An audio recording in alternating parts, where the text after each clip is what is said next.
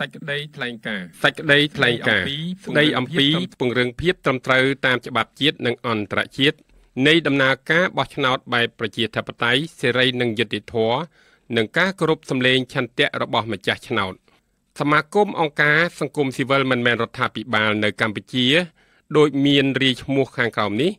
មានការព្រួយបារម្ភខ្លាំងចំពោះការប្តឹងដើម្បីរំលាយគណៈបកសង្គ្រោះជាតិជាគណៈបកប្រជែង និងចំពោះការអនុម័តដោយតំណាងរាស្ត្រតែឯកបៈនៃគណៈបកដឹកនាំរដ្ឋាភិបាលលើការកែប្រែរូបមន្តថ្មីនៃការបែងចែកអាសនៈតំណាងរាស្ត្រសមាជិកព្រឹទ្ធសភាក្រុមប្រឹក្សាថ្នាក់ក្រោមជាតិនិងក្រុមប្រឹក្សាឃុំសង្កាត់នៃគណៈបកត្រូវរំលាយដែលមានចែងក្នុងសេចក្តីស្នើវិសោធនកម្មច្បាប់ដោយតំណាងរាស្ត្រមកពីគណៈបកដឹកនាំរដ្ឋាភិបាលគណៈបកប្រជាជនកម្ពុជាសមាគមអង្គការសង្គមស៊ីវិលមិនមែនរដ្ឋាភិបាលយល់ឃើញថា ជាយថាហេតុការរំលាយគណៈបកប្រជែងនេះរហូតមិនអាចចូលរួមប្រកួតការបោះឆ្នោតនឹងនាំឲ្យមានបញ្ហាភាពត្រឹមត្រូវតាមច្បាប់ជាតិនិងអន្តរជាតិនៃការបោះឆ្នោតឆ្នាំ2018ខាងមុខនេះម្យ៉ាងទៀតការអនុវត្តរូបមន្តថ្មីដើម្បីបែងចែកអាសនៈនេះនឹងធ្វើឲ្យប៉ះពាល់ជាអវិជ្ជមាន និងអយុត្តិធម៌ធ្ងន់ធ្ងរចំពោះសម្លេងម្ចាស់ឆ្នោត តំណាងឆន្ទៈម្ចាស់ឆ្នោត ដែលមិនឆ្លុះបញ្ចាំងសមាមាត្រសញ្ញាឆ្នោតនៃភាពជាតំណាងរាស្ត្រករណីការរំលាយនិងការបែងចែកអាសនៈនៃគណៈបកសង្គ្រោះជាតិបែបនេះគឺមិនគ្រប់សម្លេងឆន្ទៈប្រជាពលរដ្ឋប្រមាណ3លាននាក់ដែលបានបោះឆ្នោតគ្រប់គ្រងគណៈបកនេះ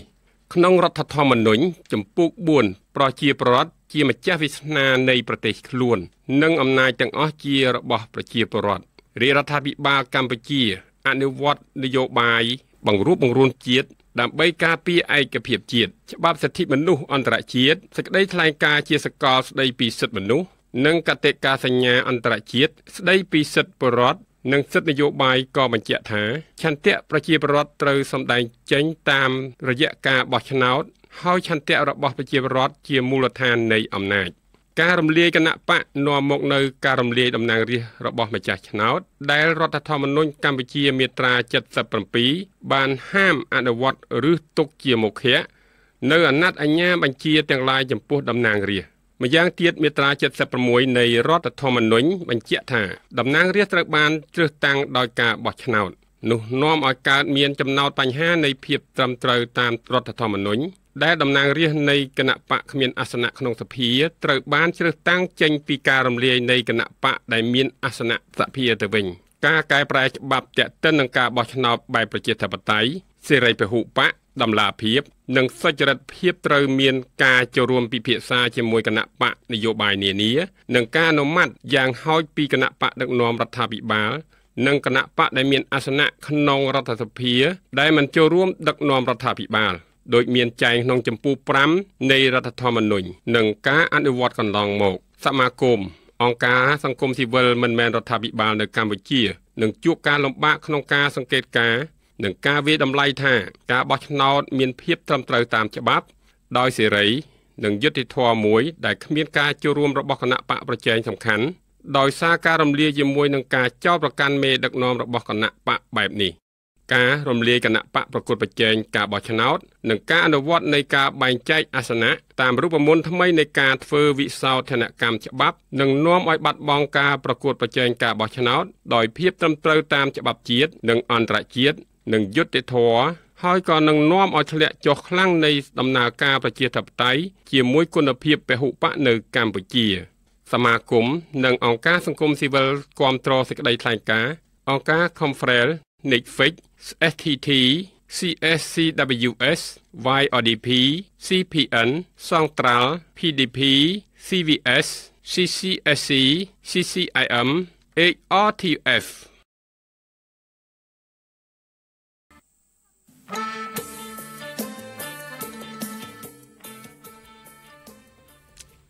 បាទជំរាបសួរប្រិមិត្តជាទីមេត្រីដែលកំពុងទៅតាមដានស្ដាប់ការផ្សាយសម្លេង សង្គមស៊ីវិល VOC បាទប្រិមិត្តទីមេត្រីការផ្សាយសម្លេងសង្គមស៊ីវិល VOC យើងតែងតែមានផ្សាយជារៀងរាល់ថ្ងៃរាល់ព្រឹកម៉ោង7:30នាទីដល់ម៉ោង8:30នាទីហើយកម្មវិធីប្រចាំថ្ងៃពុធគឺជាកម្មវិធីសិទ្ធិមនុស្សដែលរៀបចំដោយសមាគមអាត់ហុកសហការជាមួយអង្គការ Conference និងអង្គការសមាគមមួយចំនួននៅក្នុងព្រះរាជាណាចក្រកម្ពុជាកម្មវិធីប្រចាំថ្ងៃពុធនេះផងដែរគឺថាយើងមានផ្សាយតែ តាមរយៈវិទ្យុសមុខឃុំ FM 105រាជធានីភ្នំពេញនិងតាមរយៈ Facebook page របស់ Confrel ដោយធ្វើការ live ផ្ទាល់ដូច្នេះប្រិមិត្តអាចទស្សនាតាមរយៈ page Facebook គឺលោកគ្រូស្រីគ្រាន់តែចូល Facebook របស់ខ្លួនរួច search រកពាក្យ Confrel ដោយវាអក្សរ C O M F R E L លោកលោកស្រីនឹងឃើញការ live ផ្ទាល់ក្នុងគណៈ ពេលជាមួយគ្នានៃការ live ផ្ទាល់នេះផងដែរលោកស្រីអាចមាន ជាសំណួរឬក៏ជាមតិយោបល់នៅក្នុងការការ live នេះដើម្បីក្នុង comment ដើម្បីខ្ញុំបាទអាចនឹងលើកយកសំណួរឬក៏យោបល់របស់ប្រិមិត្តឲ្យទៅ comment លោកអាចបកស្រាយពិភាក្សាជូនផងដែរហើយក្នុងពេលជាមួយគ្នាប្រសិនបើជាលោកស្រីចង់ចូលរួមជាសម្លេង តាមរយៈទូរស័ព្ទយើងមាន3ប្រព័ន្ធគឺថាប្រព័ន្ធ 4012 43 34 37ប្រព័ន្ធ015ដែលមានលេខ72 41 71និងប្រព័ន្ធ016 54 43 98កម្មវិធីយើងសូមស្វាគមន៍ដោយរីករាយក៏សូមជម្រាបផងដែរថាកម្មវិធីនៃការផ្សាយសម្លេងសង្គមស៊ីវិលនេះគឺរៀបចំឡើង ក្នុងគោលបំណងតែមួយគត់គឺថាដើម្បីនឹងផ្សព្វផ្សាយអប់រំ ផ្ដល់ចំណេះដឹងដល់ប្រជាពលរដ្ឋម្ចាស់ឆ្នោតប្រជាពលរដ្ឋដែលរស់នៅក្នុងប្រជាណាចក្រកម្ពុជាឲ្យលោកអាចនឹងយល់ដឹង ជាពិសេសគឺជាប្រជាពលរដ្ឋខ្មែរដែលលោកអាចនឹងចូលរួម ក្នុងសិទ្ធិជាម្ចាស់ឆ្នោតដើម្បីចូលរួមក្នុងក្នុងកិច្ចការសង្គមដូចជា ការប្រើប្រាស់អនុវត្តសិទ្ធិរបស់បុគ្គលផ្ទាល់ខ្លួន ការចូលរួមជាពលរដ្ឋល្អជាមួយនឹង រដ្ឋាភិបាលការតិទៀនឬក៏ផ្ដោះបដូរឬក៏តស៊ូមតិក្តីនឹងដើម្បីធ្វើយ៉ាងណាឲ្យកាន់តែប្រសើរឡើងក្នុងកិច្ចការសង្គមនៅកម្ពុជាផងដែរហើយប្រធានបទថ្ងៃនេះគឺថាយើងលើកពាក់ព័ន្ធទៅនឹងសេរីភាពបញ្ចេញមតិក្នុងរបប ប្រជាធិបតេយ្យ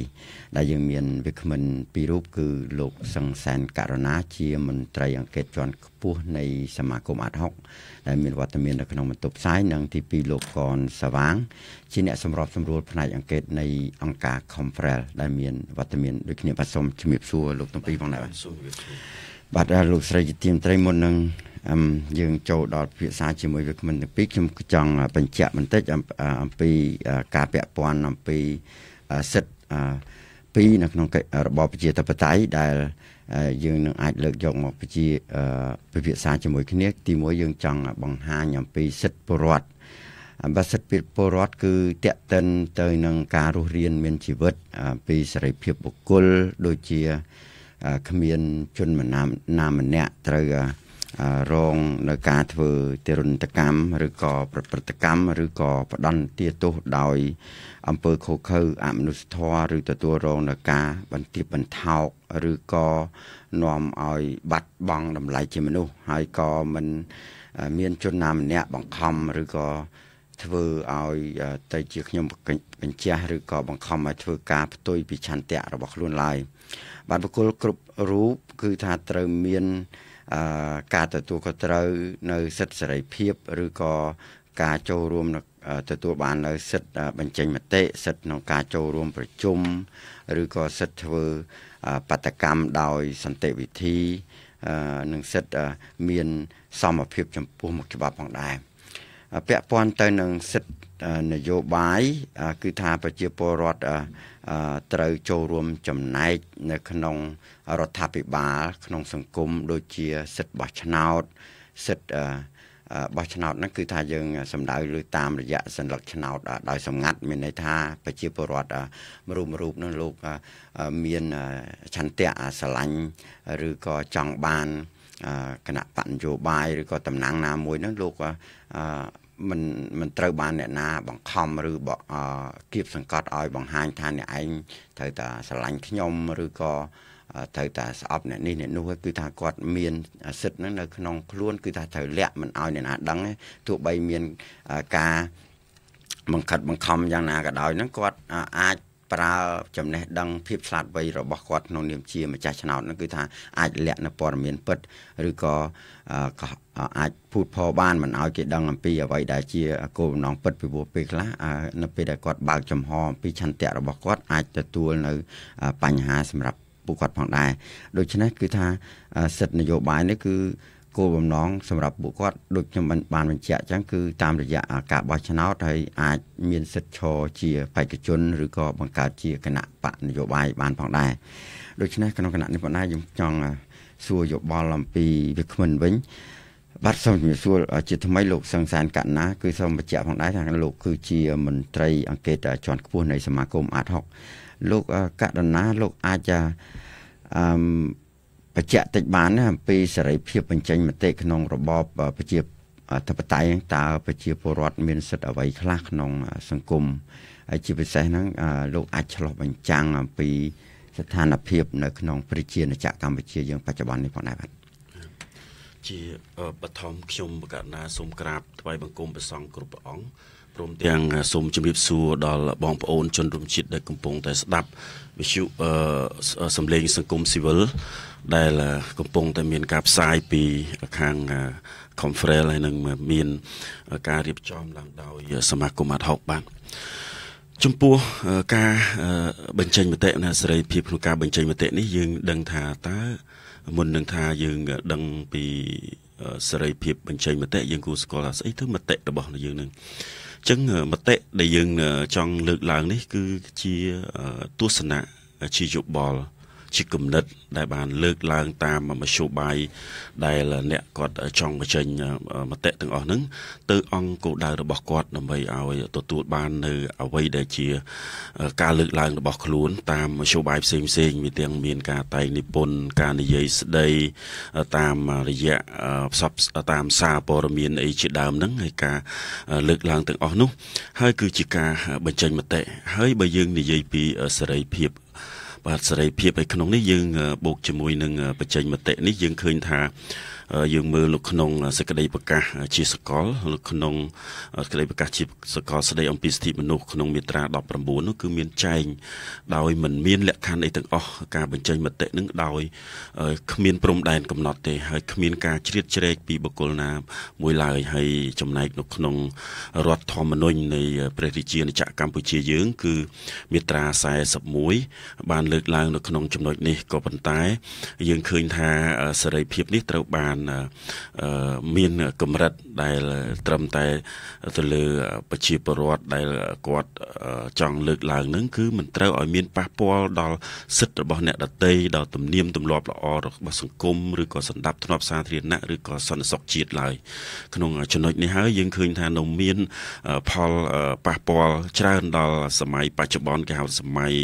ទំនើបនិយមការប្រើបណ្ដាញសង្គមនេះយើងឃើញមានកំពុងតែកើតមានផលប៉ះពាល់ច្រើនដល់អ្នកលេងនិងប្រឈមមុខចំពោះមុខច្បាប់ផ្សេងផ្សេងអញ្ចឹងឲ្យខ្ញុំគ្រាន់តែលើកឡើងអំពីការនិយមន័យប៉ុន្តែនៅក្នុង សង្គមលទ្ធិប្រជាធិបតេយ្យសេរីភាពក្នុងការបញ្ចេញមតិនេះ គឺជាលំហមួយដ៏ធំសំខាន់បំផុតសម្រាប់ប្រទេសដែលមានលទ្ធិប្រជាធិបតេយ្យហើយក៏ជាសេរីភាពមួយដែល ខាងជាសេរីភាពដ៏ចាំបាច់បំផុតសម្រាប់អ្នកដឹកនាំនយោបាយឬក៏អ្នករាជរដ្ឋាភិបាលដែលដឹកនាំប្រទេសនឹងត្រូវតែមានការបើកទូលាយដើម្បីឲ្យប្រជាពលរដ្ឋរបស់ខ្លួនបញ្ចេញនៅទុកកង្វល់ពីបញ្ហារបស់ពួកគាត់ដើម្បីឲ្យរដ្ឋាភិបាលទទួលបាននៅព័ត៌មានគ្រប់គ្រាន់ហើយនឹងរកដំណោះស្រាយនៅពេលដែលគាត់លើកឡើងនៅបញ្ហារបស់ពួកគាត់បាទបាទអរគុណច្រើនលោកសង្សានករណាហើយ ក៏សូមជំរាបសួរលោកកនស្វាងសូមបញ្ជាក់ផងដែរថាលោកកនស្វាង គឺជាអ្នកសម្របសម្រួលផ្នែកអង្គការនៃអង្គការ Conference ដែលលោកអាចជួយបង្ហាញបន្តិចពាក់ព័ន្ធទៅនឹងសិទ្ធិនយោបាយដូចខ្ញុំបានលើកឡើងត្រួសត្រាសដែរប៉ុន្តែឃើញថាលោកមានជំនាញ យូរឆ្នាំណាស់មកហើយពាក់ព័ន្ធនឹងកិច្ចការបោះឆ្នោតជាពិសេសការអប់រំបោះឆ្នោតការអង្កេតខ្លំមើលតើប្រជាពលរដ្ឋគ្រប់រូបពាក់ព័ន្ធនឹងសិទ្ធិនយោបាយនេះហើយក៏ឃើញហាក់បីដូចជាបដោតទៅលើការឈរឈ្មោះ ឲ្យគេបោះឆ្នោតឬក៏ចូលរួមគណៈបកនយោបាយឬក៏បង្កើតគណៈបកនយោបាយហ្នឹងតើជុំវិញបញ្ហាហ្នឹងហើយលោកអាចឆ្លោះបញ្ចាំងបានជាមួយនឹងស្ថានភាពនៃប្រជាណាចក្រកម្ពុជា ដែលយើងកំពុងតែអនុវត្តរបបប្រជាធិបតេយ្យហើយដំណើរការនៃការបោះឆ្នោតច្រើនអាណត្តិមកហើយនេះបាទសូមជួយបាទបាទសូមអរគុណហើយសូមជម្រាបសួរដល់លោកលោកស្រីដែលនិយមស្ដាប់ សម្លេងសង្គមស៊ីវិល VOC ផងដែរបាទចង់ជម្រាបថាតកតងរឿងសេរីភាពសារព័ត៌មានក៏ជាសិទ្ធិក្នុងការបញ្ចេញមតិនិងសិទ្ធិផ្សេងៗគឺជាចំណីមួយដែលចាំបាច់ណាស់សម្រាប់សង្គមនៅក្នុងលទ្ធិប្រជាធិបតេយ្យ លទ្ធិប្រជាធិបតេយ្យកាលណាបើអត់មានសិទ្ធិសេរីភាពទាំងអស់នេះទេ គឺថាលទ្ធិប្រជាធិបតេយ្យគឺมันអាចដំណើរការទៅដោយរលូនទេ ពីព្រោះលទ្ធិប្រជាធិបតេយ្យគឺត្រូវការចាំបាច់គឺសិទ្ធិនៅក្នុងការចូលរួមសិទ្ធិក្នុងសេរីភាពសិទ្ធិក្នុងការសម្ដែងមតិជាពិសេសគឺតែសិទ្ធិនៅនយោបាយអញ្ចឹងហើយបានជានៅក្នុងច្បាប់មេត្រា41ហ្នឹងក៏មានបានបានបាននិយាយបានលើកឡើងអំពីបញ្ហាដោយលោកលោកកណាបានបង្ហាញពីខាងដើមអញ្ចឹងបាទហើយសិទ្ធិនេះដែរគឺថាបច្ចេកមតិនេះដែរបើយើងតាក់ទងរឿងពាក់ព័ន្ធទៅនឹងនយោបាយគឺការលើកតម្កើងមានន័យថានៅក្នុងច្បាប់រដ្ឋធម្មនុញ្ញប្រជាពលរដ្ឋគ្រប់រូបមានសិទ្ធិចូលចូលរួមចូលឈ្មោះបោះឆ្នោតក៏ដូចជាមានសិទ្ធិចូលរួមបោះឆ្នោតឲ្យគេដទៃបាទនេះគឺជាចំណុចមួយដែលមានការចែងហើយនៅក្នុងនេះដែរគេថាប្រជាពលរដ្ឋទាំងរូបមានសិទ្ធិសម្ដែងមតិ ទុកកង្វល់របស់ខ្លួន តាមរយៈការបោះឆ្នោតតាមរយៈការស្នើសុំផ្សេងផ្សេងអានេះគឺជាសិទ្ធិសេរីភាព រហូតដល់មានការបែងបាការចែងនៅសិទ្ធិទាំងនេះមានការទលំទលាយថែមទៀតគឺថាមានចែងនៅក្នុងអឺមាត្រាទី67 68នៃច្បាប់បោះឆ្នោតជ្រើសតាំងតំណាងរាស្ត្រផងដែរបាទគឺថាបែងចែកនៅក្នុងការឃោសនាមានន័យថាមិនមានន័យថាសកម្មភាពប្រជាពលរដ្ឋ គ្រប់រូបមានសិទ្ធិចូលរួមក្នុងគណៈបកនយោបាយហើយប្រជាហើយអ្នកដែលចូលឈ្មោះនៅក្នុងគណៈបកនយោបាយមានសិទ្ធិក្នុងការចូលរួមបង្ហាញពីឆន្ទៈណេះធ្វើការឃោសនា តាមរយៈការឃោសនាផ្សេងផ្សេងដែលអាចបញ្ចុះបញ្ចូលឬក៏ការតាក់ទាញប្រជាពលរដ្ឋលោកអាចចូលរួមនៅក្នុងគណៈគាំទ្រនៅក្នុងគណៈបកនយោបាយរបស់ខ្លួននៅក្នុងកិច្ចការសង្គមនៅក្នុងអ្វីដែលខ្លួនត្រូវការសម្ដែងមិនតែប៉ុណ្ណោះទៀតទេគឺថាមានចែងនៅក្នុងច្បាប់នេះដែរតកតងរឿងតំណាងជាតំណាងរបស់ប្រជាពលរដ្ឋមានន័យថាប្រជាពលរដ្ឋគ្រប់រូបមានសិទ្ធិក្នុងការទទួល បាននៅព័ត៌មានផ្សេងផ្សេងក៏ដូចជាការស្នើសុំណាតាមរយៈតំណាងរបស់ខ្លួនគឺតំណាងរាស្ត្រនេះឯងហើយតំណាងរាស្ត្រក៏មានសិទ្ធិក្នុងការទៅជជែកការប្រជុំតាមរយៈការប្រជុំផ្សេងផ្សេងដែរដើម្បីទទួលនៅមតិឬក៏យោបល់ពីពីប្រជាពលរដ្ឋនៅបញ្ហាទុកកង្វល់ផ្សេងផ្សេងនេះហើយគឺជាអ្វីដែលជាការសម្ដែងយើងមើលដូចជានៅក្នុងករណីជាក់ស្ដែងតកតងការបោះឆ្នោតគោលប្រជាពលរដ្ឋ គេថាបោះឆ្នោតដោយសម្ងាត់ប៉ុន្តែប្រជាពលរដ្ឋយើងគឺមានការសម្ដែងមតិរបស់ខ្លួនក្នុងការចូលរួមបោះឆ្នោតនេះគឺជាការសម្ដែងមតិមួយអឺតកតងរឿងសកម្មភាពនៃនយោបាយមានន័យថាសកម្មជនផកគណៈបកនយោបាយលោកអាចមានសិទ្ធិក្នុងការឃោសនាការបញ្ចុះបញ្ចូលផ្សេងផ្សេងដូចជាថ្មីថ្មីនេះការជាបញ្ចុះបញ្ចូលផ្សេងផ្សេងអានេះគឺជាផ្នែកមួយនៃសារនៃការបញ្ចេញមតិមកដែរក៏ប៉ុន្តែទោះបីថាច្បាប់មានការបែងចែកមានការលើកឡើងអំពីសេរីភាពក្នុងការបញ្ចេញមតិក៏មាន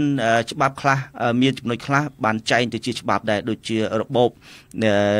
ច្បាប់នៃរបបផ្សារព័ត៌មានជាដើមដែលគេនិយាយអំពីក្រិតក្រមនៃពីបង្ហាញពីការសម្ដែងក្នុងការបញ្ចេញមតិនឹងថាតើកម្រិតណាដែលអាចបញ្ចេញបានកម្រិតណាដែលអាចមិនអាចបញ្ចេញបានបាទបាទលោកស្វាងចង់បញ្ជាក់បន្តិចបាទដោយសារលោកក៏បានលំអិតខ្លះដែរពាក់ព័ន្ធទៅនឹង សិទ្ធិនយោបាយប្រជាពលរដ្ឋលោកអាចឈរជាតំណាងឬក៏បង្កើតគណៈបកនយោបាយប៉ុន្តែយើងឃើញនៅក្នុងរបបឬក៏អឺដំណើរការនៃការបង្កើតគណៈបកនយោបាយមួយ មានន័យថាត្រូវការធនធានថវិកាឬក៏ធនធានអឺគ្នាគ្នាខ្នងនឹងឲ្យច្រើនអីចឹងណាតើឧទាហរណ៍ថាប្រជាពលរដ្ឋនឹងលោកចង់បង្កើតគណៈបកមួយអញ្ចឹងហើយអត់មិនមានថវិកាហ្នឹងហើយ អាចធ្វើយ៉ាងម៉េចបានដែរដើម្បីចូលរួមក្នុងកិច្ចការនយោបាយបានតាមពិតទៅនៅក្នុងច្បាប់គេមាននិយាយពីរឿងការបកគណៈបកនយោបាយបាទគេមាននិយាយអំពីក្នុងក្របខ័ណ្ឌនៃការបកគណៈបកនយោបាយនៅក្នុងហ្នឹងគឺថាមានការគ្រប់គ្រងពីប្រជាពលរដ្ឋណានៅក្នុងតំបន់នៅទីកន្លែងចំនួនមានចំនួនមួយកំណត់ មានការបង្កើតជាគេហៅថា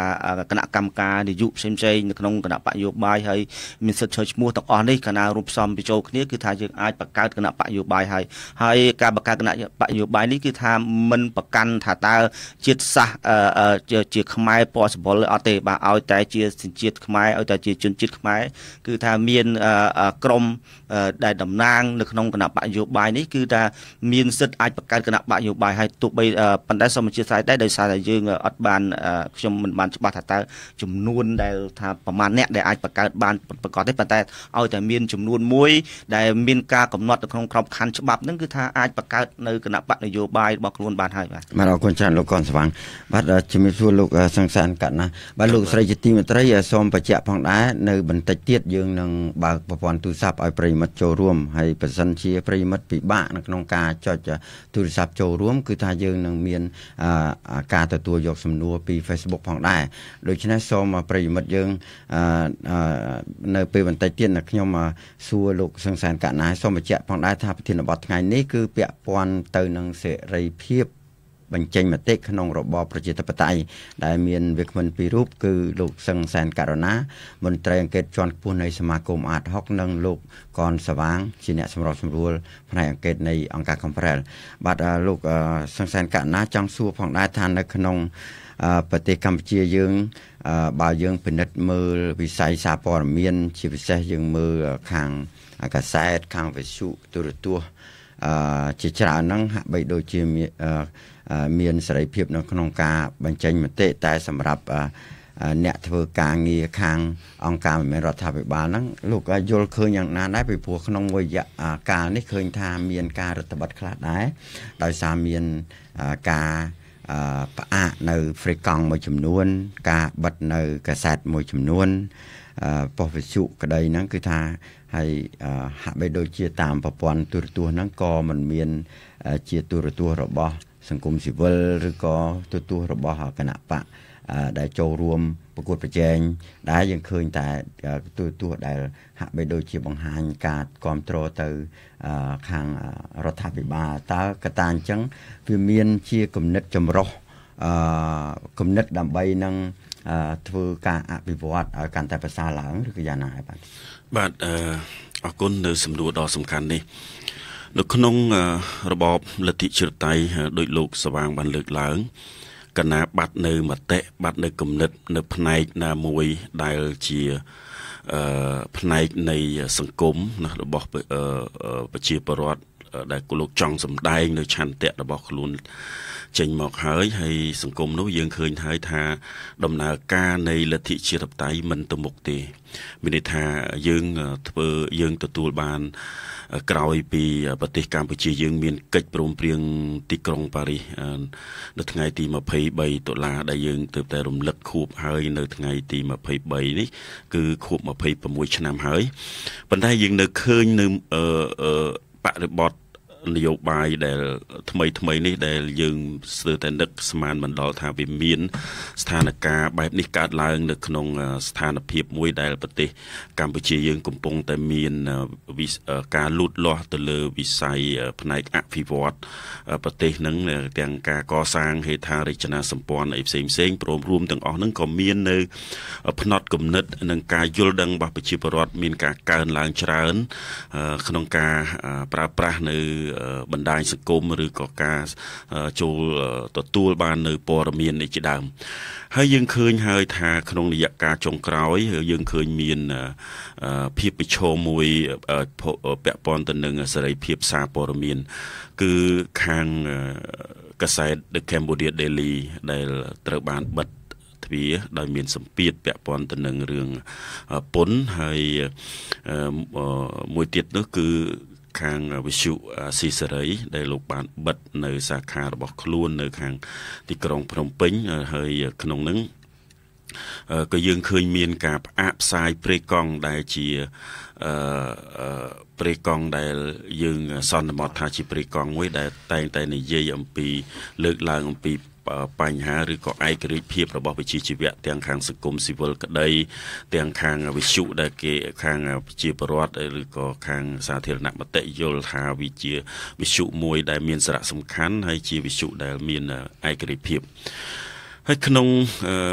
ចំណុចនេះយើង មានការសោកស្ដាយណាស់ដែលយើងឃើញថាកម្ពុជាមានការវិវត្តច្រើនក៏ប៉ុន្តែវិស័យនេះយើងឃើញហាក់ដូចជាមានការថមថយទៅថយក្រោយទៅវិញអ្វីត្បិតតែខាងអ្នកសម្របស្រួលលោកសវណ្ណបានសាកសួរតែថាយើងមានទូរទស្សន៍យើងមានវិទ្យុមានអីជាច្រើនរួមទាំងមានបណ្ដាញសង្គមតាមប្រព័ន្ធអ៊ីនធឺណិតទៀតថាតើវាហេតុអីបានយើងយល់ថាវាជាការថមថយទៅវិញក៏ប៉ុន្តែយើងឃើញហើយថា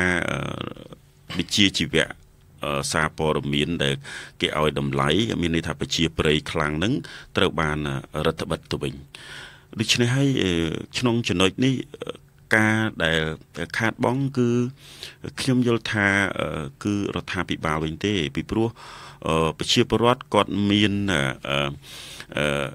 មានបំណងឬក៏មានឆន្ទៈរបស់គាត់នឹងគឺ ចង់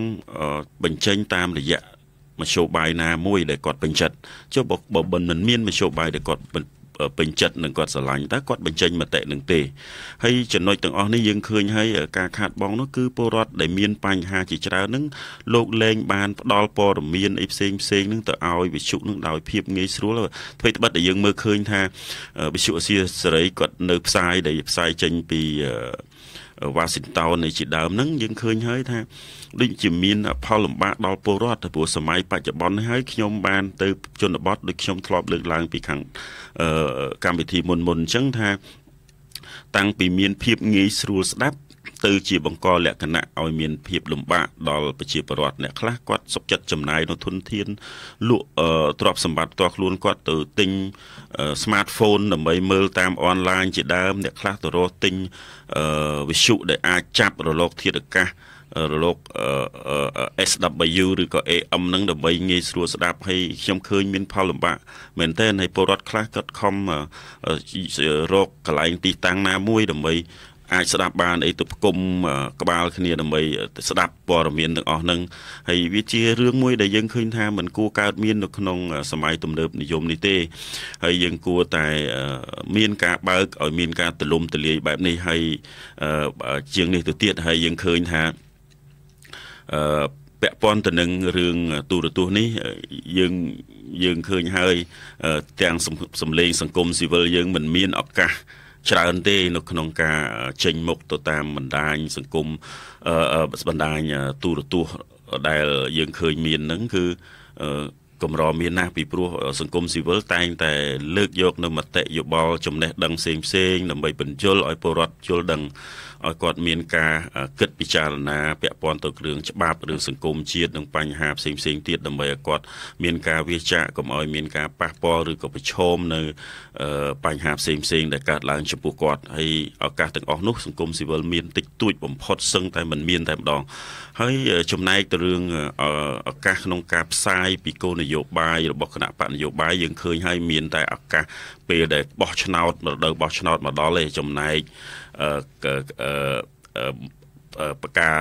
បន្ទាប់ពីនឹងគឺយើងឲ្យខាងគណៈបពប្រឆាំងគឺអត់មានទូរទស្សន៍ដើម្បីលើកឡើងអំពីទស្សនៈនយោបាយឬគោលដៅការកិច្ចការរបស់ខ្លួនដើម្បីចូលរួមក្នុងជីវភាពនយោបាយទេហើយក្នុងនេះយើងឃើញធ្លាប់ដឹងធ្លាប់ឮថាមាន ការគម្រោងនឹងមានការបើកទូរទស្សន៍នេះហើយប៉ុន្តែមកដល់បច្ចុប្បន្ននេះយើងមិនមាន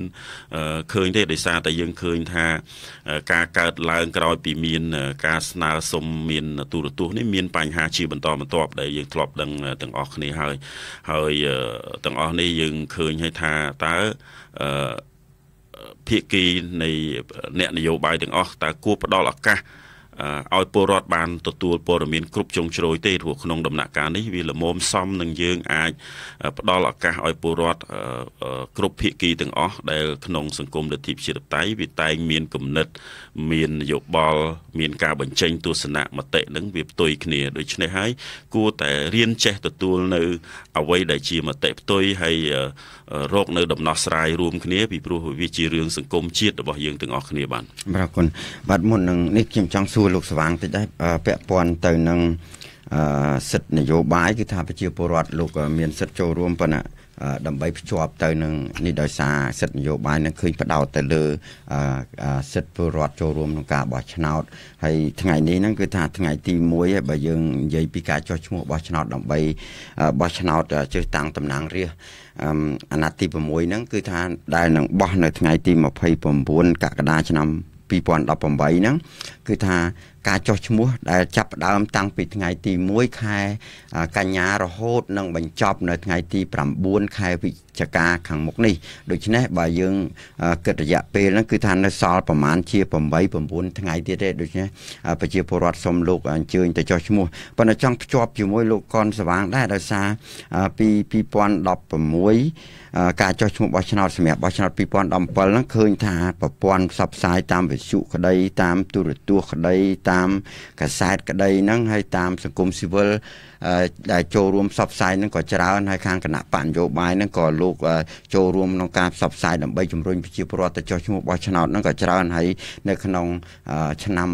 2017នេះដោយសាររបត់នៃនយោបាយហាក់បីដូចជា មានការឃុំខ្លួនប្រធានគណៈបក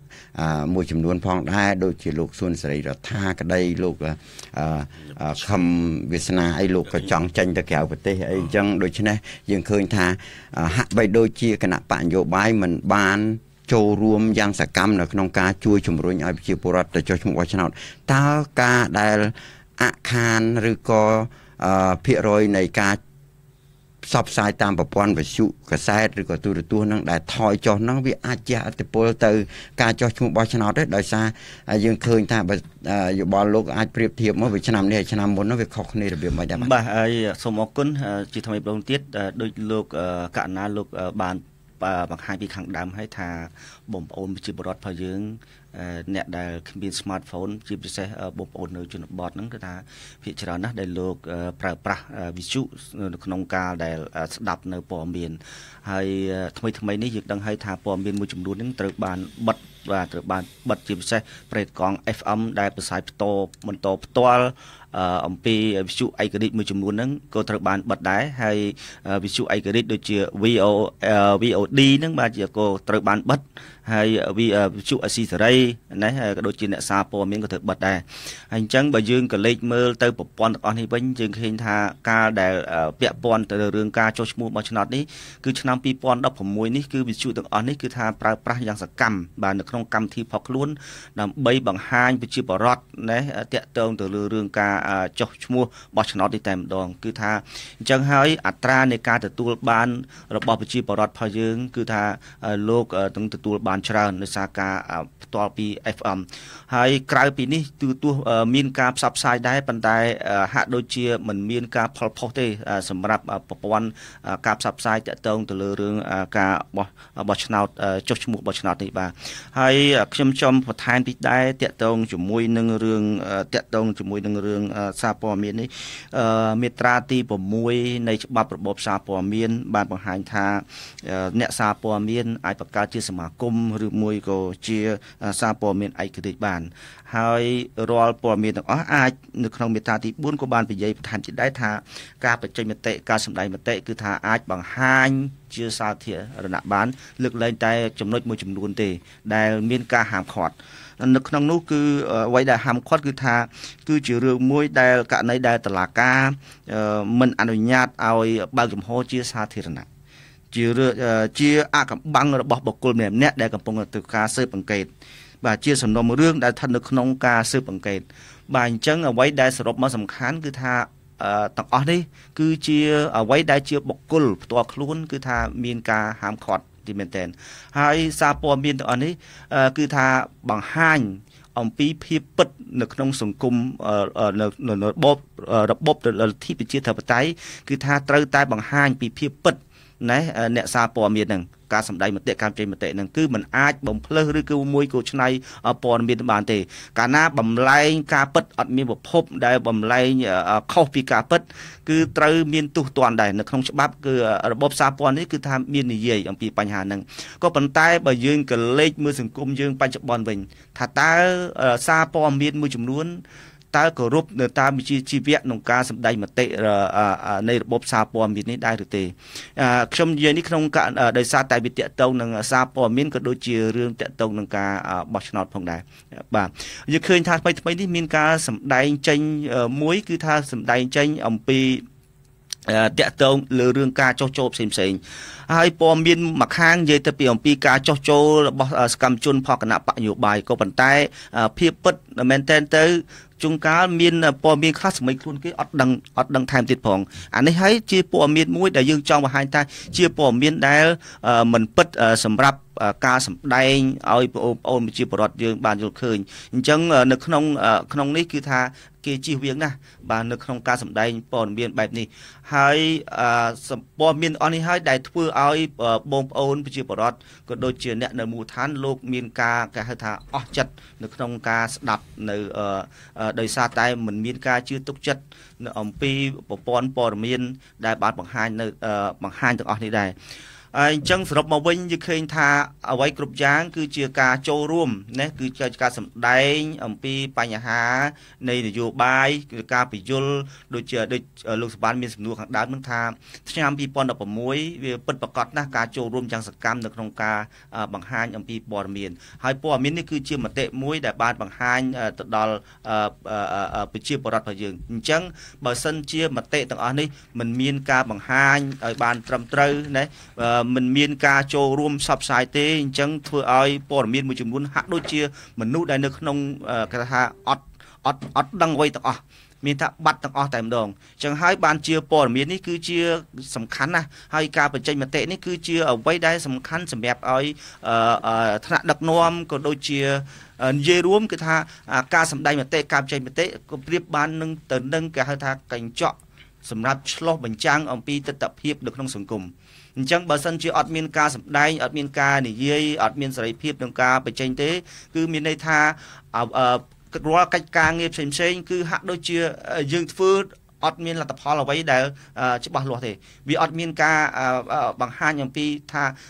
បទពិសោធន៍ខុសឬត្រូវត្រង់ណាទេអញ្ចឹងជារឿងសំខាន់ណាស់ការសម្ដែងមតិនេះបាទសូមអរគុណ បាទអរគុណច្រើនបាទប្រិយមិត្តទីមត្រីក្នុងគណៈពេលនេះផងដែរគឺថាសូមប្រិយមិត្តអាចចូលរួមតាមប្រព័ន្ធទូរស័ព្ទ340សូមពេលទៅលោកអាចចាក់ទូសំឡេងទូរស័ព្ទឡើងវិញដើម្បីប្រិយមិត្តយើងអាចចូលរួមបាន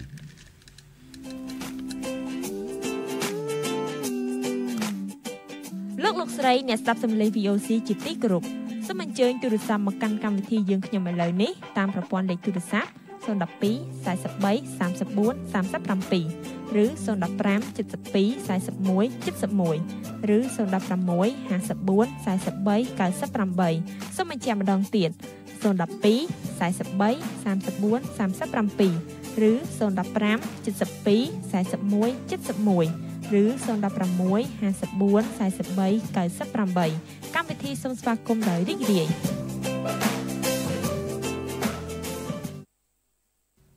បាទ ក្នុងគណៈនេះបណ្ដាយើងមានប្រិមិត្តខាង012លោកភ្ជាប់ហើយបាទប្រិមិត្តជីមត្រីចង់សូមបញ្ជាក់ផងដែរថាការចូលរួមរបស់ប្រិមិត្តជាមតិយោបល់ផ្ទាល់របស់ប្រិមិត្តទាំងវាគ្មិនដូចគ្នាគឺថាមិនមែនជាគោលបំណងឬក៏ការរៀបចំរបស់អង្គការ Compare ឬក៏ខាង Ad hoc ទេគឺថាប្រិមិត្តដែលចូលរួមជាគំនិតផ្ទាល់ខ្លួនដូច្នេះសូមប្រិមិត្តដែលចូលរួមសូមមេត្តាប្រាប់ឈ្មោះហើយមកពីខាងណាផងដែរបើសិនជាអាចសូមឲ្យជាសំណួរមុននឹងមានយោបល់បាទសូមទទួលខាង012ឥឡូវជំរាបសួរខាង012បាទឈ្មោះអីមកពីខាងណាបាទបាទឥឡូវជំរាបសួរបាទលោកឈ្មោះអីមកពីខាងណាបាទបាទខ្ញុំរាតេជីវិសាងទៅបាទបាទលោករ៉ាស្អាង បាទលោករ៉ាមានជាសំណួរឲ្យជាសំណួរមុនបាទបាទអឺថ្ងៃនេះយើងនិយាយពីចិត្តបញ្ចេញមតិនិងទិននយោបាយបាទបាទបាទបាទបាទអឺដោយសារសំណួរនេះវា ពាក់ព័ន្ធទៅនឹងការបញ្ចេញយោបល់ពីមុនសិនអាចនឹងដឹងដាក់សំណួរជាក្រោយព្រោះអានោះវាពាក់ព័ន្ធបាទជើញជើញចឹងជើញបាទបាទបាទការបញ្ចេញមតិដូចជាយើងបានស្ដាប់កន្លងមកហើយគឺថាមានបញ្ហា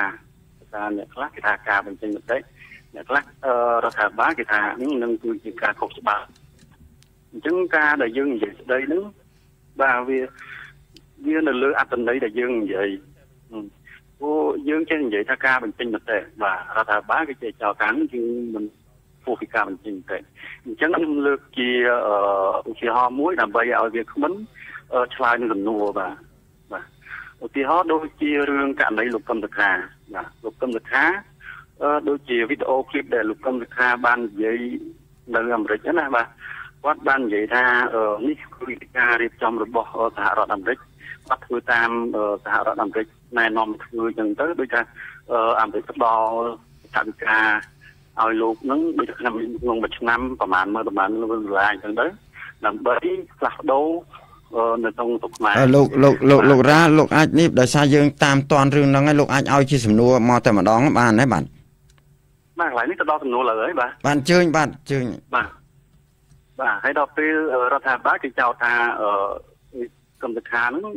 តែគប់គេនេះធ្វើអីគេជាមួយបរទេសគប់គិតជាមួយបរទេសដើម្បីព្រួរំលំឆ្លត់ថែបាលបាទអញ្ចឹងកន្លែងនេះខ្ញុំចង់សួរគឺជាសំណួរព្រោះថាលោកកឹមសុខាបាននិយាយច្បាស់ហើយហើយនឹងជាការរៀបចំរបស់អាមេរិកបាទហើយនឹងធ្វើតាមដូចជាប្រទេសអីដែលអឺអំណាចដាច់ការណាអញ្ចឹងខ្ញុំចង់សួរទៅលោកវាគ្មិនតើលោកកឹមក្នុងคลิปហ្នឹង គឺជាការបញ្ចេញមតិឬក៏គឺជាការខົບខិតរបស់រកឹមសុខាជាមួយនឹងបរទេសដើម្បីផ្ដួលរំលំដល់ខេត្តបាបាទបាទអរគុណច្រើនលោករ៉ាដូច្នេះសូមអនុញ្ញាតទួខាង015លោកជំរាបសួរខាង015បាទហៅលោកលេសួរបងទីកបាទជំរាបសួរលោកឈ្មោះអីមកខាងណាបាទបាទឈ្មោះរ៉ាទៅភ្នំពេញបាទលោករ៉ាដូចគ្នាបាទជើញមានខ្ញុំឲ្យសំណួរមួយសំណួរបងទីកចេះបងប្អូននៅស្រុកខ្មែរយើង25ខែក្រុងហ្នឹងណា តែថាបងប្អូនអស់ជំនឿរឿងថាចោះឈ្មោះរឿងបោះស្នោតតែថាអីដែលថាណាបៈអឺគាត់សន្យាថាឲ្យមួយខែ40000ឲ្យចាស់ចាស់ហ្នឹងរឿងថាបងប្អូនអ្នកខ្លះទៅអស់ជំនឿចុះឈ្មោះបោះស្នោតហើយបងប្អូនអ្នកខ្លះទៅកែប្រទេសដែលច្រើនដោយសារដោយសារអស់ជំនឿរឿងនយោបាយហើយអ្នកខ្លះបងប្អូននិយាយទៅថាចេះរឿងថាបោះស្នោតនេះជាសំខាន់មែនតែ ណបនយោបាយដែលសន្យាឲ្យបងប្អូនថាមួយខែ40000ទៅអត់បានហើយឥឡូវ50000ដុល្លារទៀតក្នុងមួយឃុំចាថាបងប្អូនអស់ជំនឿទៅណាស្រុកច្រើនមែនតើអាហ្នឹងខ្ញុំមើលតាមសង្គម Facebook មើលតាមព័ត៌មានគេថាបងប្អូនសពថ្ងៃនេះពិបាកដោយសារអីដោយសាររឿងនយោបាយសន្យាចេះសន្យាចោលហើយណាខ្លះទៅចេញមតិទៅឲ្យតែខុសកើងអីចាប់គ្នាដាក់គុកចឹងទៅ ចឹងថាបងប្អូនអ្នកខ្លះលើហ៊ានចេញមតិហើយទេសារអីទេសារខ្លាចអ្នកកាន់អំណាចហ្នឹងចាប់គ្នាដាក់គុកចឹងទៅណាបងពីកបាទបាទចាថាបាទចាថាខ្ញុំដាក់សំណួរបងពីកតែប៉ុណ្ណឹងទេឲ្យបកស្រាយរឿងថាអ្នកខ្លះចេញមតិតាខុសកើងអីតាចាប់គ្នាដាក់គុកអាហ្នឹងយើងសពថ្ងៃនេះនៅក្រោមអំណាចណាបកកាន់អំណាចចឹងថាស្បាប់គេអ្នកកាន់ចឹងថាគេចង់ធ្វើអីតែអំពើចិត្តរបស់គេឲ្យគ្នាចេញមតិឲ្យបិទ សង្គមព័ត៌មានដែលច្រើនមែនតើដោយសារអីដោយសារនៅកាន់អឺណបៈនៃហ្នឹងណបៈប្រជាជនហ្នឹងបាត់អឺដូចជាថាសួងព័ត៌មានដូចជាថាផ្សព្វផ្សាយអីសប្ថ្ងៃហ្នឹងបាត់អស់ហើយដោយសារអីដោយសារមានតែតាមសង្គម Facebook ហ្នឹងបើកមើលអីចឹងទៅដោយសារអីចឹងហើយបងប្អូនអ្នកខ្លះមកឲ្យចង់ឲ្យចេញកតិទេតែអញ្ចឹងខ្លាចខុសកើងអ្នកខ្លះទៅខ្លាចអញ្ចឹងទៅអ្នកខ្លះយកអញ្ចឹងបានបោះរយោមួយបើស្ដាប់បាត់អីអញ្ចឹងទៅចាំថាខ្ញុំដាក់បងពិកតែប៉ុណ្ណឹងឲ្យបកស្រាយរឿងថារឿងចេញបតិផងបាទបាទអរគុណច្រើនលោករ៉ាភ្នំពេញបាទសូមអនុញ្ញាតទទួលខាង016អឡូជំរាបសួរខាង016បាទឈ្មោះអីមកពីខាងណាបាទអឡូបាទជំរាបសួរបាទ លោកឈ្មោះអីបាទសាលទៅប្រខែកំពង់ចាមបាទលោកសាលកំពង់ចាមបាទលោកដាក់សំណួរមុនបាទហើយចាំមានយោបល់បាទអរគុណចេះខ្ញុំចង់ដាក់សំណួរទៅចាំទៅកាន់វាគ្មិនយើងទាំងពីរនាក់ណាហើយជាទៅលោកតែនកណាហើយជាខាងមន្ត្រីអង្គការសិទ្ធិមនុស្សនឹងហ្មងបាទបាទព្រោះថាខ្ញុំចង់ថានៅប្រទេសកម្ពុជាអឺទាំងរដ្ឋាភិបាលខាងរដ្ឋាភិបាលថាការបញ្ចេញមតិនោះវាមានសេរីភាពហើយបញ្ចេញមតិបានទៅចិត្តហើយខាងគណៈបកប្រឆាំងក៏ថាស្បិតស្បៀត ប៉ុន្តែយើងពិនិត្យតាមជាក់ស្ដែងរាល់ថ្ងៃឃើញថាអឺសូម្បីតែប្រព័ន្ធផ្សព្វផ្សាយដូចជាសង្គមស៊ីវិលអីវាពិបាកបើតាមរឿងជាក់ស្ដែងវាជាអៀតមែនប៉ុន្តែគ្រាន់តែថាអឺការបញ្ចេញមតិដែលមានលក្ខណៈនិន្នាការគ្រប់គ្រងទៅគណៈបកតាមណាយគាត់មានប្រព័ន្ធផ្សព្វផ្សាយទោះបីតែការនិយាយស្ដីក្នុងពិសេសតាមប្រព័ន្ធផ្សព្វផ្សាយលោកទៀតកាគឺគេមានសិទ្ធិរំលីមែនគេអាចជេរគេអាចវាយប្រហារទៅលើអ្នកណាដែលមាននិន្នាការប្រឆាំងហើយជាក់ស្ដែងខ្ញុំ ខ្ញុំតែងតែចូលនិយាយទៅក្នុងប៉ុស្តិ៍95របស់មួយអាយដាមសុកសាននេះគាត់បើកឲ្យខ្ញុំទលំទលីដែរប៉ុន្តែគាត់ថាគាត់និយាយមានកម្រិតដែរគាត់ថាបើខ្ញុំនិយាយទៅអឺគាត់ថាជាគិតបញ្ចេញមតិរបស់លោកវិសាលប៉ុន្តែគាត់ថាវាមានលក្ខណៈថាគាត់បកបកស្រាយវាអត់ចំគូដៅរបស់ខ្ញុំហ្នឹងហើយហើយគាត់ដល់អញ្ចឹងទៅខ្ញុំចង់សួរថាតើអាការបញ្ចេញមតិហ្នឹងសម្រាប់គណៈបកប្រឆាំងក៏ដូចជាគណៈបកកណ្ដាលហ្នឹង ដើម្បីឲ្យមានតុល្យភាពដូចគ្នាតើគួរឲ្យមានការបញ្ចេញមតិទៅតាមប្រព័ន្ធផ្សព្វផ្សាយដែលគណៈបកខាងគួរតែត្រូវតែមានដែរឬអត់ណាហើយអាហ្នឹងជាចំណុចសំខាន់ព្រោះយើងស្រុកឯងប្រជាពលរដ្ឋព្រោះព័ត៌មានតាមតាមតែវាដល់ទេពីវាគ្មានលើកឡើងហ្នឹងឥឡូវតើមានសមត្ថភាពមានលទ្ធភាពដូចខ្ញុំវិញមិនអី Facebook ខ្ញុំមានហើយ conference ខ្ញុំធ្វើតាម Facebook ដែរខ្ញុំអត់មានស្រាប់តាមវិទ្យុឯព្រោះវិទ្យុខ្លះវាបំបត្តិចិត្ត ទៅមកសបុកឃុំហ្នឹងក៏មិនឲ្យខ្ញុំបច្ចេកទេសផងបើនិយាយរិះគន់គណៈបកប្រឆាំងវាយបហាគុណប្រឆាំងសន្តិបើកមកសេរីទលាយដោយអាលោកលួងច័ន្ទអមនេះកងជើងមេភូមិគណៈបកប្រជាជនគាត់និយាយបានតែចិត្តបាទអរគុណច្រើនលោកលោកវិសាលណាដោយសារយើងក្តាប់បានសំណួររបស់លោកហើយហើយសូមទទួលវិក្មិនតែសូមទោសប្រិមត្តតែមួយរូបទៀតយើងផ្ដល់នាទីនេះឲ្យលោកវិក្មិនឆ្លើយតបអាលោកជំរាបសួរខាង012បាទអាឡូ ហៅឡូបាទឈ្មោះអីមកពីខាងណាបាទមានស្ត្រីតែមួយរូបទេបាទហៅឡូអាឡូជំរាបសួរបាទជំរាបសួរឈ្មោះអីមកពីខាងណាបាទខ្ញុំឈ្មោះវ៉ាន់ខេត្តកដាលបាទវ៉ាន់កដាលជើញមានប្រសាសន៍អាចដាក់សំណួរមុនបានណាលោកស្រីវ៉ាន់ចាអរគុណជំរាបសួរលោកវាសុននឹងទីរូបក្នុងកម្មវិធីផ្សាយផងចាបាទជំរាបសួរបាទខ្ញុំចាខ្ញុំសុំសួរសំណួរអញ្ចេះឥឡូវយើងយើងចិត្តដល់ពេលផុតថ្ងៃចុះឈ្មោះបោះឆ្នោតហើយ ខ្ញុំសួរទៅលោកខាងអង្គការកំប្រែលលោកកងស្វាងហ្នឹងសួរថាតើគណៈបកប្រឆាំងដែលមាននៅក្នុងភូមិខ្ញុំនេះជាប់មេឃុំគណៈបកប្រឆាំងប៉ុន្តែមនុស្សសុំឲ្យផ្សព្វផ្សាយដូចថាដាក់មេក្រូឬប្រព័ន្ធសម្លេងអីកំពងផ្សព្វផ្សាយឲ្យជាប្រដ្ឋយើងឲ្យទៅចុះឈ្មោះបោះឆ្នោតអីណា គាត់ថាតើទួលនីតិរបស់គណៈបកប្រឆាំងមេឃុំជាប់ថ្មីឬក៏ទួលនីតិមេឃុំចាស់គណៈបព្វជិជនដែលបានធ្លាក់ឆ្នោតឆ្នាំ2017ហ្នឹងបើអ្នកដែលត្រូវផ្សព្វផ្សាយឲ្យជាប្រដ្ឋយើងទៅចុះឈ្មោះបោះឆ្នោតណាចាហើយព្រោះអីកន្លងមកខ្ញុំតែងឮសូរថាបើសិនជាបកប្រឆាំងហ្នឹងទៅផ្សព្វផ្សាយរឿងអ្វីមួយច្រើនតែមានការរារាំងពីអាជ្ញាធរខាងគណៈបព្វជិជនអីចឹងណា ចាខ្ញុំសូមសួរប៉ុណ្ណឹងទេចាអរគុណជំរាបលាបាទអរគុណច្រើនបើតាមសំណួររបស់លោកស្រីវ៉ាន់ហ្នឹងចង់បដោតថាតើភាគីណាខ្លះដែល មានកតបកិច្ចក្នុងការ ជួយជំរុញដល់ប្រជាពលរដ្ឋឲ្យទៅចុះឈ្មោះបោះឆ្នោតបាទដូច្នេះសូមលោកនេះលោកអឺក៏សង្សានករណាសូមអធិស្ឋានជប់លោកសង្សានករណាមុនបាត់ឆ្លើយតបនឹងប្រិមិត្តយើងបាទសូមអរគុណអឺ ខ្ញុំសូម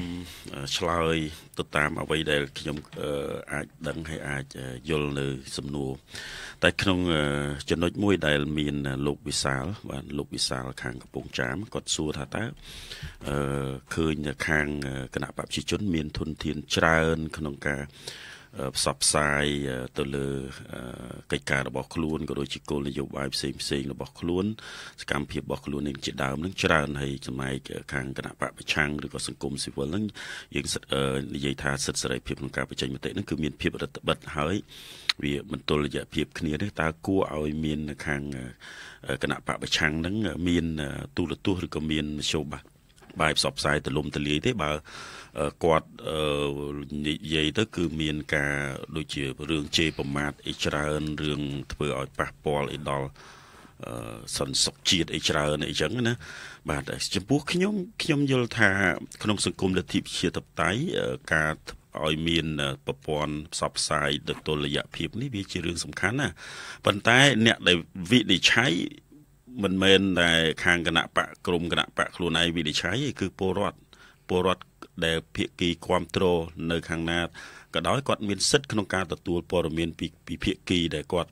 មាននឹងបើសិនជាគណៈបកប្រឆាំងគាត់លើកឡើងនៅរឿងដែលមិនពិតរឿងដែលមិនត្រឹមត្រូវគឺប្រជាប្រិយភាពគាត់ត្រូវបានប្រជាពលរដ្ឋវិនិច្ឆ័យទៅថា វាវាបាត់បង់បាត់ហើយមានការគ្រប់គ្រងទៀតទេអញ្ចឹងបើសិនជាគាត់មានភាពអាក្រក់ដែលជាច្រើនអញ្ចឹងរឿងអីត្រូវរដ្ឋបិទមនុស្សដែលបញ្ចេញព័ត៌មានដែលមិនពិតដែលអាក្រក់អញ្ចឹងយើងគួរតែឲ្យគាត់មានសេរីភាពក្នុងការតតាំងគ្នាស្មើភាពទៅព្រោះគោលការណ៍ច្បាប់ក្នុងរបបប្រជាធិបតេយ្យវាគេត្រូវតម្រូវឲ្យមានសេរីភាពផ្នែកហ្នឹងហើយបើសិនជាគាត់ មានតែវោហារស័ព្ទមានការនិយាយស្ដី ដែលមិនត្រឹមត្រូវអសិលធម៌ឬក៏យ៉ាងណាហ្នឹងគឺមិនមែនតែលោកវិសាលក្នុងម្នាក់ជាអ្នកវិនិច្ឆ័យគឺពលរដ្ឋក្នុងទូទាំងប្រទេសហើយជាពិសេសពលរដ្ឋដែលគាត់មានសិទ្ធិក្នុងការសម្រេចចិត្តបោះឆ្នោតទៅទៀតអញ្ចឹងបើសិនជាគាត់មានទង្វើមិនគប្បីអញ្ចឹងវាជាប្រតិភិបគាត់នឹងបាត់បង់ពីការគ្រប់គ្រងអានឹងទី1 ចំណែកពាក់ព័ន្ធទៅនឹងរឿងដែលសួរថាលោករានៅខាងស្អាតសួរអំពីរឿងលោកកឹមសុខាពាក់ព័ន្ធនឹងឃ្លីបអញ្ចឹងខ្ញុំខ្ញុំសុំមិនមិនវាយតម្លៃទៅលើហេតុការណ៍ហ្នឹងទេពីព្រោះក្នុងនីតិវិធីរបស់តុលាការគាត់កំពុងធ្វើការស៊ើបអង្កេតហើយណាមួយភ័ស្តុតាងផ្សេងផ្សេងក៏ខាងខ្ញុំមិនបានទៅស៊ើបអង្កេតមានភ័ស្តុតាងក្នុងដៃដោយភាគីរឿងក្តីទទួលយកមកបានទេអញ្ចឹងខ្ញុំខ្ញុំសូមអត់អត់វាយតម្លៃទៅលើរឿងហ្នឹងទេក៏ប៉ុន្តែខ្ញុំគ្រាន់តែចង់លើកឡើងថាជាគោលការណ៍ក្នុងសង្គមលទ្ធិប្រជាធិបតេយ្យណាគ្រប់អ្នកនយោបាយឬក៏ខាងភាគីដែលដែលគាត់ពាក់ ដែលដែលចូលក្នុងប្រឡូកនយោបាយគាត់មានសិទ្ធិក្នុងការធ្វើបង្ហាញឡើងអំពីតាក់ទិចរបស់គាត់យុទ្ធសាស្ត្ររបស់គាត់អំពីអ្វីដែលគាត់អាចចង់បង្ហាញទាំងខាងភាគីគណៈបកកាន់អំណាចក៏ក៏ធ្លាប់លើកឡើងអំពីរឿងបាសខ្លួនថាតើបាននិយាយតែពីការពាក់ព័ន្ធទៅនឹងចំណងមិត្តភាពកិច្ចការបរទេសផ្សេងផ្សេងដូចទៅគ្នាដែរអញ្ចឹងវាវាគ្រាន់តែភាគីម្ខាងគាត់មិនមានអំណាចផ្លូវច្បាប់នៅ អាចធ្វើចាត់វិធានការផ្សេងផ្សេងក្នុងការតតាំងគ្នានេះវាមិនតុល្យភាពដែលយើងអាចពិចារណាទៅអញ្ចឹងហើយខ្ញុំមិនមិនមានការវិនិច្ឆ័យតើតើរឿងហ្នឹងវាត្រូវឬខុសយ៉ាងម៉េចទេខ្ញុំសូមអធិស្ឋានក្នុងចំណុចទាំងមួយហើយចំណុចមួយទៀតគឺពាក់ព័ន្ធទៅនឹងរឿងពាក់ព័ន្ធពលរដ្ឋលោករានៅភ្នំពេញរឿងអស់ជំនឿដែលថាមាន40000រៀល50000រៀលហើយ ការបញ្ចេញពាក់ព័ន្ធការទទួលសន្យាអីឲ្យអត់អត់អត់អនុវត្តចឹងខ្ញុំគិតថាក្នុងចំណុចនេះខ្ញុំក៏ជាអ្នកដែលធ្វើកិច្ចការផ្នែកបោះឆ្នោតក្នុងរដូវកាលបោះឆ្នោតដែរខ្ញុំតាមដានដែលខ្ញុំគិតថាប្រជាពលរដ្ឋ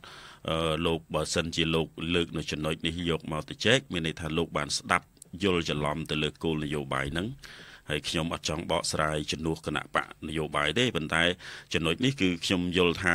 มันមានការផ្ដោតទៅអញ្ចឹងទេគឺខាលដែលគាត់ឃោសនាគោលនយោបាយនេះគឺបានបញ្ជាក់ថាវាជាការលើកឡើងមួយបើសិនជាគណៈបកប្រឆាំងនឹងបានទៅកាន់អំណាចមានសិទ្ធិក្នុងការអនុម័តនៅថវិកាជាតិអីនោះបានមានការសម្រេចទៅលើការសន្យារបស់ខ្លួននឹងក៏ប៉ុន្តែអ្វីទាំងអស់ហ្នឹងគឺដឹងថាគណៈបកដែលកាន់អំណាចបច្ចុប្បន្នមិនមែនគណៈបកប្រឆាំងទេអញ្ចឹងអ្វីដែលមានការលើកឡើងហ្នឹងវាជាយុទ្ធសាស្ត្រក្នុងការឃោសនាដើម្បីរកសម្លេងឆ្នោតហើយអ្វីដែលទាំងអ្វីទាំងអស់ហ្នឹងគឺវាអត់បានទទួលលទ្ធផលដោយការដែលគាត់ចង់បានទេដូច្នេះទាំងអស់នេះซึ่งយើងយើងដែលជាជាប្រវត្តិនឹងសូមតាមដានរាល់គោលនយោបាយរបស់គណៈបកនីមួយៗឲ្យច្បាស់ជៀសវាងមានការយល់ច្រឡំហើយវាទៅជាការចេញបោកការឃោសនារបស់គណៈបកនយោបាយហើយយើងមិនបានមិនច្បាស់ខ្លួនឯងថារឿងហ្នឹងវាជាជារឿងយ៉ាងម៉េចបាទហើយចំណុចមួយទៀតពាក់ព័ន្ធនឹងការបញ្ចេញមតិខុសឆ្គងដូចខ្ញុំលើកឡើងពាក់ព័ន្ធទៅនឹងករណីអឺដែលតែមានការចាប់ខ្លួនមានអីចឹងពេលខ្លះយើងយល់ច្រឡំការបញ្ចេញមតិនិងការជេរប្រមាថហួស ចំបុគ្គលច្បាប់មានចែងក្នុងរដ្ឋធម្មនុញ្ញយើងនឹងក៏មានចែងដែរកាលណាយើង លើកចំបុគ្គលការចោតនឹងវាទៅជាលែងមានការបញ្ចេញមតិអានឹងវាទៅជារឿងគេមានច្បាប់ចែងក្នុងក្រមព្រហ្មទណ្ឌដូចជារឿងបបរិហាបុគ្គលគេចំបុគ្គលអញ្ចឹងគឺគេប៉ះពាល់កិត្តិយសគេគេធ្វើការបដិងបដល់ហើយកាលណាយើងបើសិនជាការចោតប្រកាន់ប៉ះយើងនឹងចំទៅបុគ្គលណាមួយហើយបុគ្គលហ្នឹងគាត់បានប្រព្រឹត្តហើយយើងមានភ័ស្តុតាងច្បាស់លាស់ លើកឡើងខ្ញុំជឿថាអ្នកដែលដែលទោះបីចំបកគលនឹងក៏ដោយអ្នកនឹងក៏គាត់ត្រូវទទួលរងនៅភាពអាម៉ាស់ដែរហើយបាទប៉ះពាល់នឹងការចោតប្រកាន់នៅផ្លូវច្បាប់ផ្សេងផ្សេងបាទហើយចំណែកសុំថាចំណែកអ្នកដែលគាត់លើកឡើងនៅរឿងដែលខ្លួនឯងមិនពិតឬខុសឆ្គងហ្នឹងក៏មានវិធានការផ្លូវច្បាប់តាមនីតិវិធីដែលយើងមានក្រម ព្រមត្តនឬក៏ច្បាប់ដែលពាក់ព័ន្ធផ្សេងទៀតដែរបាទអរគុណអរគុណចាន់លោកកាត់ណាបាទលោកស្វាងដោយសារពេលវេលា យើងក៏គៀកមែនតើហើយសូមឆ្លើយទៅតែសំណួរលោកស្រីវ៉ាន់ទៅបានបាទសូមជួយបាទហើយ សូមឆ្លើយទាំងពីរតែម្ដងបាទសូមបន្តិចកាច់កាត់ចុះលោករ៉ាតាមពិតរឿងអស់ជំនឿរឿងគណៈបកយោបាយថាបោះបោះណាខ្ញុំសូមសូមសូមជម្រាបចេះសូមឲ្យប្រជាពលរដ្ឋយើងកុំគិតពីរឿងនឹងខ្លាំងពេកសូមសំណូមពរថាឲ្យទៅចុះឈ្មោះបោះឆ្នោតទាំងអស់គ្នាជាការបំពេញសិទ្ធិជាដំបូងសិនចាំចុងក្រោយនៅក្នុងការសម្រេចចិត្តបោះឆ្នោតចាំគិតជាចុងក្រោយប៉ុន្តែជាដំបូងនេះអ្នកដែលអត់ទាន់មានឈ្មោះក្នុងបញ្ជីឈ្មោះបោះឆ្នោតសូមអញ្ជើញទៅចុះឈ្មោះបោះឆ្នោតទី2បងស្រីវ៉ាន់បាទសូមហៅបងស្រីចុះសូមអធិស្ឋានបើខុសឆ្គងអឺចំពោះការដែលធ្វើការឃោសនាតាមពិតវាជាភារកិច្ចមួយរបស់គណៈកម្មការជាតិរៀបចំការបោះឆ្នោតដែលត្រូវធ្វើការសហការជាមួយនឹងក្រុមប្រឹក្សាគុំសង្កាត់ដែលដឹកនាំដោយគណៈបកដែលមានជាប់ឆ្នោតជាមេឃុំរួមជាមួយនឹងសមាជិកគណៈកម្មសមាជិកក្រុមប្រឹក្សាគុំសង្កាត់ដែលជាប់ឆ្នោតអញ្ចឹងទាំងអស់នេះវាជាភារកិច្ចដែលទទួលខុសត្រូវក្នុងការផ្សព្វផ្សាយរបស់ភាគីរបស់ស្ថាប័នកោជបដែលសម្រាប់រៀបចំអំពីកាលវិភាគថាថាទៅត្រូវឃោសនាត្រូវការអប់រំបែបម៉េចត្រូវបរិញ្ញាបែបម៉េចក៏ប៉ុន្តែគេផ្ដល់សិទ្ធិអំណាចឲ្យការចូលរួមធ្វើនេះគឺដោយគេហៅថាក្រមប្រឹក្សាឃុំសង្កាត់ ដែលមានមេឃុំពីគណៈបកណាមួយដែលគាត់នឹងធ្វើជាតំណាងនឹងធ្វើជាអ្នកចាត់ចែងមេឃុំជាអ្នកចាត់ចែងជាមួយរួមជាមួយនឹងក្រុមប្រឹក្សាឃុំសង្កាត់ក៏ប៉ុន្តែយើងដឹងហើយថាការឃោសនារបស់ឆ្នោតអត់សំទោស ច្រឡំឃោសនាសម្រាប់ការចូលរួមអប់រំផ្សព្វផ្សាយនេះគឺថាកោជបោបានមានវិធានការក្នុងការដាក់ផ្សព្វផ្សាយតាមមីក្រូខ្លះដែរបាទក៏ប៉ុន្តែมันបានជារៀងរាល់ពេលវេលាมันបានជារៀងរាល់ថ្ងៃទេ បាទដោយដោយដោយអន្លើអន្លើទេអាហើយយើងឃើញថារាល់ដងដែលមានគណៈបកផ្សេងផ្សេងចូលរួមនឹងគឺជាសកម្មភាពដែលយើងមើលឃើញឆ្នាំ2016គឺជាសកម្មភាពភាគីពាក់ព័ន្ធដែលក្រោមការអំពាវនាវក្នុងការចូលរួមអំពីស្ថាប័ន មានកោជបហើយដែលសកម្មជាងគេដែលយើងមើលឃើញគឺថាគឺគណៈបកដែលប្រឆាំងនឹងហើយក៏ប៉ុន្តែមកដល់ឆ្នាំនេះគឺថាអត់ទាន់មានឃើញសកម្មភាពផុសផុលដូចឆ្នាំ2016អំពីគណៈបកប្រឆាំងទេដោយសារតែគាត់ឡែងរវល់ជាមួយនឹងរឿងច្បាប់គណៈបកនយោបាយជាពិសេសការលើកផ្លាកដាក់ផ្លាកផគាត់ដោះដូរនឹងហើយឥឡូវនេះគឺថាខ្វល់ខ្វាយមួយទៀតគឺថាភ្លេចគិតដែរភ្លេចគិតរឿងការអប់រំអស់ហ្នឹងគឺថាខ្វល់ខ្វាយជាមួយរឿងបញ្ហាផ្ទៃក្នុងរបស់គណៈបកនយោបាយបងជាពិសេសការចាប់ខ្លួនមេដឹកនាំរបស់គណៈបករបស់ខ្លួន បាទអានេះគឺបញ្ហាទាំងអស់នេះហើយដែលគឺជាបញ្ហាមួយដែល មានការអាក់ខានក្នុងការផ្សព្វផ្សាយហើយជាចុងក្រោយក៏គឺថាសូមបំពេញសូមថារដ្ឋាភិបាលក៏ដូចជាភាគីពាក់ព័ន្ធដែរថាសូមមេត្តាលើកដំកើងសេរីភាពក្នុងការបញ្ចេញមតិកុំឲ្យសេរីភាពក្នុងការបញ្ចេញមតិរបស់យើងមានការដើរថយក្រោយបាទសូមអរគុណ បាទអរគុណច្រើនបាទដោយសារនីតិយើងមានកំណត់ឲ្យដល់ពេលហើយដូច្នេះកម្មវិធីយើងសូមអរគុណដល់ប្រិយមិត្តដែលចំណាយពេលដ៏មានតម្លៃចូលរួមអឺទាំងវាគ្មិនទាំងពីររូបដែលបានចំណាយពេលដ៏មានតម្លៃចូលរួមផងដែរកម្មវិធីយើងសូមអរគុណសូមជម្រាបលាបាទ